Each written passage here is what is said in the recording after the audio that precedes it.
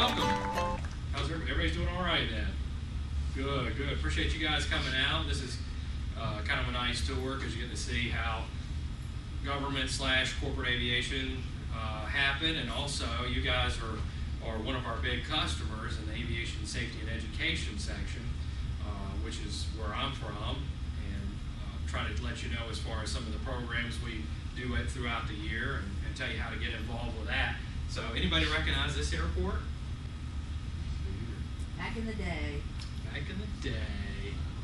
So let's see, what notable, I'll give you a hint, what notable airline was uh, headquartered here in the state? Piedmont. Where was it? Piedmont, there you go. So where was Piedmont headquartered at? Uh, Greensboro. Winston-Salem. There you go. That's a bad, uh, you know, don't smoke, okay, young guys, don't do it. So, yeah, that's, uh, kind of neat. They got the old terminal, so if you're ever over there flying, you know, get some fuel, but walk up to the old terminal. They have some real pretty stained glass and all of that. The Reynolds family was pretty influential in it. Uh, I saw a documentary on the airport. It's kind of cool because they were saying that Greensboro and Winston were really fighting for that number one spot to be the aviation city. And so you know, got a chance to kind of see how that, that fleshed out. Uh, they were pretty big, you know, back in the day with Piedmont in the 70s and 80s when I was coming along. They flew a lot of big iron over there. Uh, it was always the dream to, to get on with, with Piedmont. So they'd say, hey, if you go over there, you hear about when the interview's happening and slide in, if anybody's sick, you might luck out and be able to sit in on the interview, you know. So that was always the, the dream to do that. So anyway, I'm an aviation safety specialist, which is a bad acronym, by the way. and, uh, so you can feel free to reach me here at the office anytime, uh, email, and we have a couple of websites uh, to boot. So we do partner pretty close with the FAA, although I couldn't give you a ticket or a write-up if I wanted to. So uh, we just have, we're both governmental agencies and we're both fairly similar. Now there's the federal DOT, which FAA falls under, and their state DOT, and that's what we fall under. You may have seen the yellow vehicles out front. So that's a telltale sign. I've always wanted to learn to fly, even since I was a youngster, and uh, nothing was going to stop me to keep me from getting in the air. So, uh, what about you guys? As far as I, I can learn a little bit from from your perspective. Uh, what I would just kind of go around the room. Why did you want to learn to fly? And, It's kind of, it's uh, something I always wanted to do, growing up, obviously. Well, I had several of those boxes for myself. Um, but I, uh, going to college, I uh, actually got into the Air Force Academy, but it was going. Uh, but I didn't pass my physical because I was too tall to be pilot qualified. oh, wait. Yeah, from their standards. I missed it by literally going by three quarters of an inch. Um, so my buzz was stripped for a little while, but I still had it. And uh, now I'm back. Cool. That's awesome. That's awesome. All right. I know you. Uh, let's see. Well, you can tell your story too. Well, I never really thought about flying, period. Never crossed my mind. Mm-hmm. Until Kevin, my son, kind Oh. of got me interested.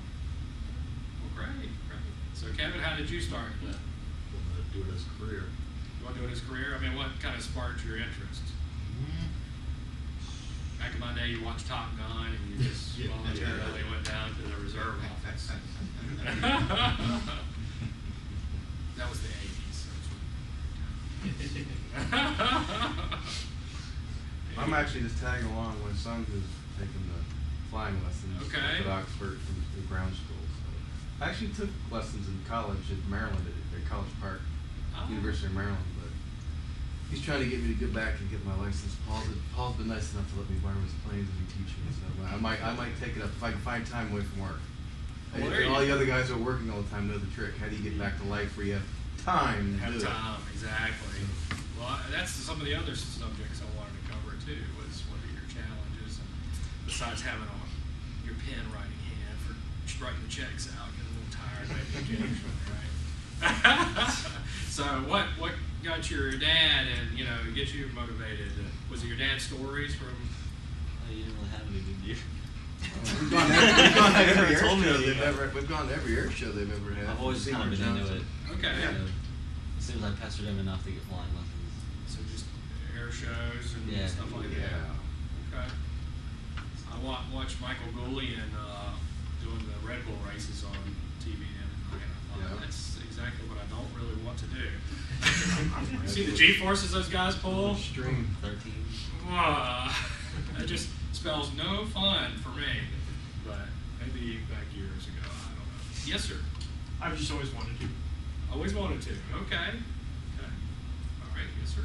Yeah, I, I worked at an air, airport when I was younger and couldn't afford it, so I just, now that I'm a little older and in school I have the time, so I'm doing it now. Cool. Good for you. That's awesome. Yes. What about yourself? Family's all pilots. And, Mhm. uh, just hearing their stories kind of always made me want to fly. Cool. That was my background. My fa- uh, father was a flight instructor and taught in a college system over at Guilford Tech in Greensboro. They have aviation program over there. We've actually partnered, I guess, a couple years ago with Embry-Riddle, so you can go do the four-year thing. And, uh, but you go go with folks like Paul to, to seek out your own flight training you, with that their program and uh, folks in the area. So, so that's great. That's great.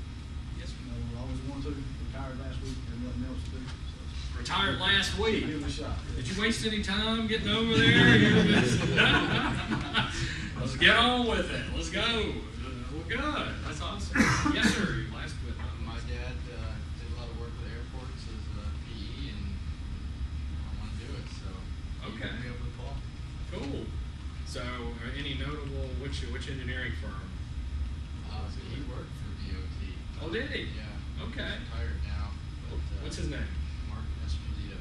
Oh yeah, I worked with Mark. I sure did. Yeah, he was right here in this office. So.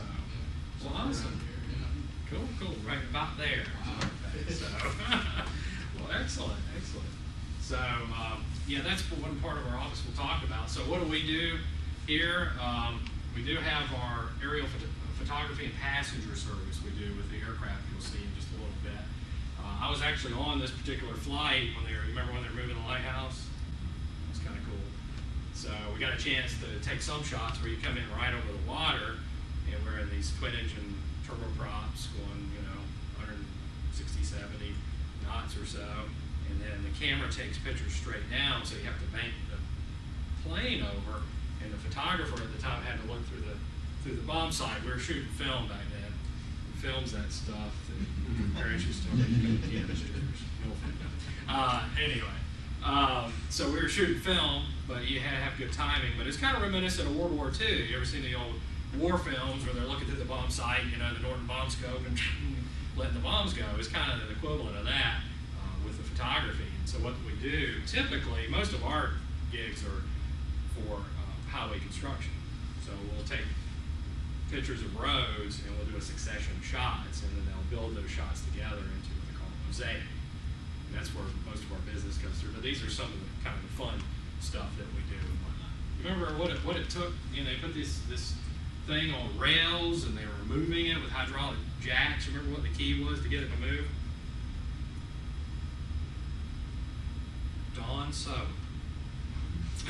so they actually soaked the rails, and they were like making you know just inches of progress a day. And it's you know it seemed like, and just easing it down those rails. So it's kind of a fascinating time, you know. So there's another another shot of it. You can see that track system they had. Uh, any idea what it, this airport is? Anybody doing any cross country flying yet? All right, let's see. How many folks have soloed thus far? Okay, a few. Pre-solo. What's, what's the rest of it? Good.